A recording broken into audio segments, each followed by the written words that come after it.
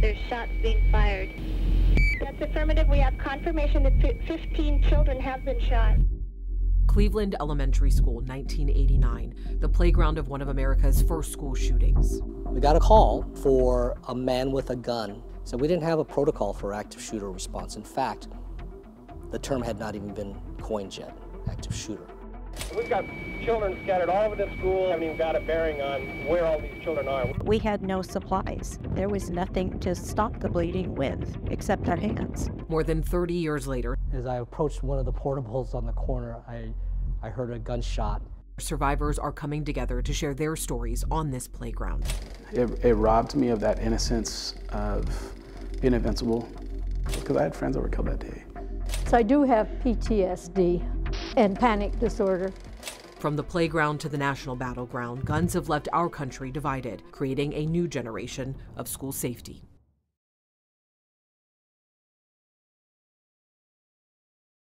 It's one of the nation's worst school shootings of its time. In 1989, five students were shot and killed at Stockton's Cleveland Elementary School. Many people thought that they would never see another school shooting like this again, but unfortunately, it's a relived reality. Some of the images you're about to see may be disturbing. Viewer discretion is advised. It was shortly before noon, and the playground at Stockton's Cleveland Elementary School looked like a battlefield after a bloody war like a machine gun, and me and my friend Nicole were just panicking. We're the only ones that were crying. I'm looking You're for looking my daughter, Joetta Ma. This is terrible. My worst nightmare. I just heard the gunshots, then I looked, then I saw my friend laying down the ground. Police searched for a reason, knowing they may never find out why the suspect turned this playground into a war zone for the first time, shooting survivors are revisiting the school together. This is where all the parents came to try to find their kids. What I remember was that there were 50, 60 ambulance firefighter uh, engines and, and, and uh, police cars here. My, we were all blocked. My ambulance was right here. My classroom's right there, that door. I was at the chalkboard and I had just stepped back to view my work the bullets came through the wall and landed at my feet, at which point I yelled to the morning teacher to run. When the door opened, a former student that I had in kindergarten, she came running in and said, he killed Twee and now he's going to kill me. We opened the doors and there were kids coming through the hallway right outside our room and they were racing, but some of the kids would get partway into the hallway and fall because they had been shot. Then I run, then my friend run too, then they shoot me, then I fall, then I get up. During recess, a gunman set his car on fire with a Molotov cocktail. He walked onto campus where 300 first, second, and third graders were playing. He fired more than 100 rounds with an assault rifle within a minute. I was six and a half. I was in first grade at the time, and my mom walked me to, to school, and she walked me up to the back gate, and she gave me a hug and a kiss on my cheek and told me have a good day. Well, unbeknownst to me, that's the same gate that the gunman would end up walking through when the gunfire erupted. I knew everybody was running and screaming, and that alone was terrifying. I took off running in classroom 20. That was the classroom that I had to get to. And I turned to see where my best friend Scotty was. And uh, when I turned around, that's when I got hit. And that's when the round went through my, my right foot. Uh, I landed on the ground and another round struck me in my chest. It hit the pavement right before it went into my chest. And I look up, and we had a substitute teacher that morning, and she had the door opened up. I took off running, kind of hobbling. Bullets were coming through the wall and she was just telling us to get down under our desks. It was the scream of sirens that first alerted many parents that something desperately was wrong. In 1989, I was actually finishing up the last month of my paramedic ambulance career. We got a call for a man with a gun at Cleveland Elementary. So we didn't have a protocol for active shooter response. In fact, the term had not even been coined yet, active shooter. The first units to arrive found mass confusion and widespread carnage. And, uh, ten, two more engines. Uh, we've got children scattered all over the school. Uh, some fatalities, some injured, and right now we haven't even got a bearing on where all these children are.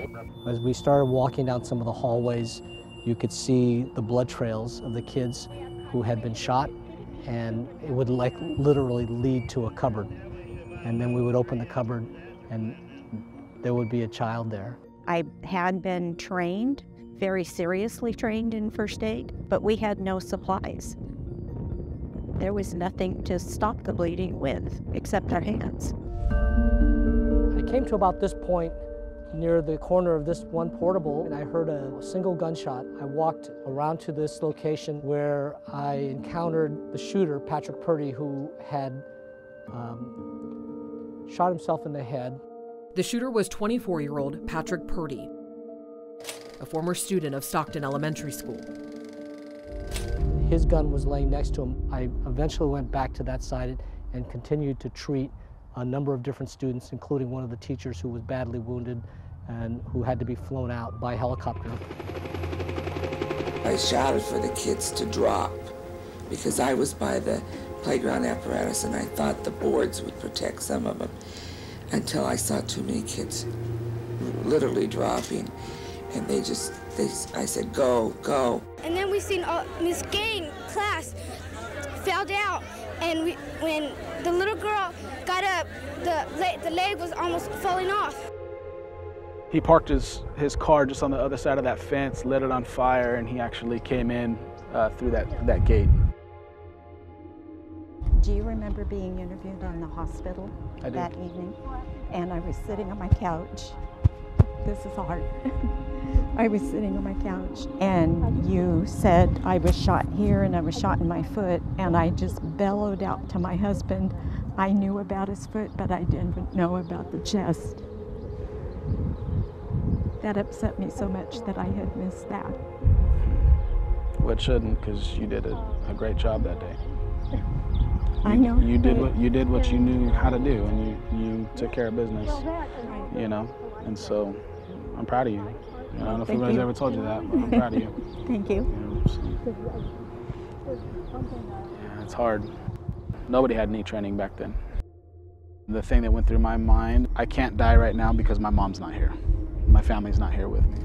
Hysterical parents and relatives poured onto the school campus in frantic search of their children, brothers, and sisters. If you don't see your child here, go over to the main cafeteria. There are more children over there.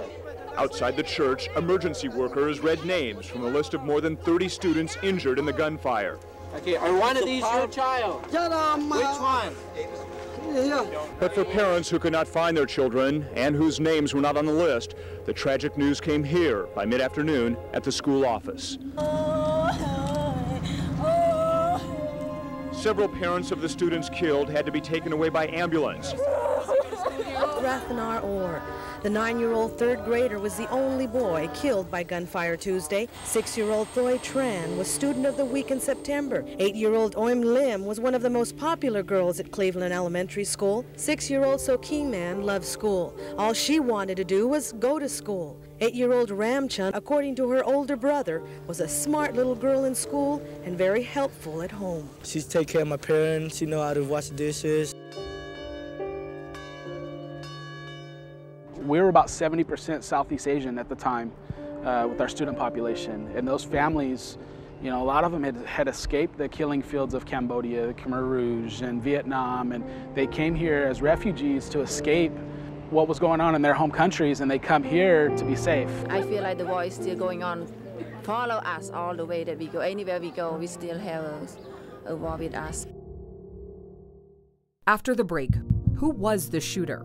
And teachers relived the moments just days after the shooting. We watched his shadow cross over from our room over to the other side of the class of the building.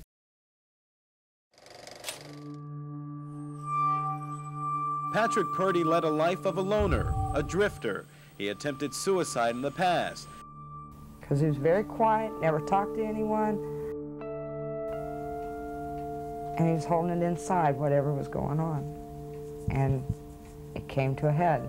He didn't leave us a message or the note And without that, we'll never know exactly why he did what he did. So far, no one has revealed what's behind the references to terrorism. Words like Hezbollah, victory, and PLO etched on Purdy's weapons and clothing. And into the year, we would find, you know, casings in the supply cupboards. I was in disbelief because who would shoot children? And why? School officials say about two-thirds of the student body braved thick fog and their worst fears to return to their classrooms. For most, it was the first time back since Tuesday's bloody rampage. Awesome. Holes in the wall, blood on the wall, and um, uh, kids on the ground. Even her mother was reluctant. I don't know if I should leave her in school. You think it's just too soon? I think so. Coming to work the next day. Talk about what that was like. That was almost as bad as the day it happened. I was so overwhelmed. I didn't feel safe anywhere anymore because the bullets could go through my wall. I wanted to be with my colleagues, you know, other people had been through the same thing, but I didn't want any children in my room. One of the changes that I made was I never pulled one of my students aside to talk to them about their behavior when it was time for them to go out for recess or to go to lunch or to go home for the day. I never wanted a harsh word or message to be part of them leaving me, the last thing they would remember. Cleveland elementary teachers relived dark moments from the shooting just days later. I opened the door, and here's Mr. Graham. He pushed that um, third grade boy. Uh, I think it was Brandon. He was bleeding so hard. We watched his shadow cross over from our room over to the other side of the class of the building and I, at that time, stood up and locked the door, only praying that he would think that we were out at recess as well. Even after he shot himself, we still had the terror. I could barely get myself to stand up. I mean, the, the six-year-old Rob uh, comes back to life, I feel. The feeling of vulnerability, the feeling of um, just being scared. It, it robbed me of that innocence of being invincible because I had friends that were killed that day. I watched a lot of people have some pretty significant wounds that day. Is it like seeing your old classroom again? I have no wish to go inside ever again. So I do have PTSD um, and panic disorder. It's something that, that I've learned to live with. It's never going to go away.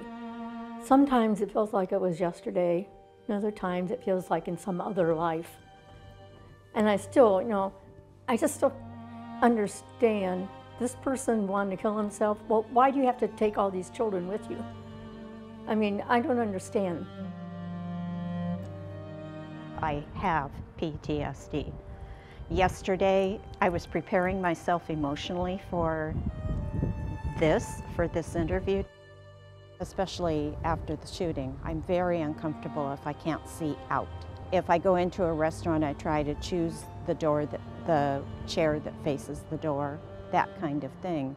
And I think that it's from being in that room. Still ahead, surviving this shooting is one thing. Living with the trauma decades later is another. We'll show you how these survivors turned a painful tragedy into action. How frustrating it is, 34 years later, these incidents are still happening.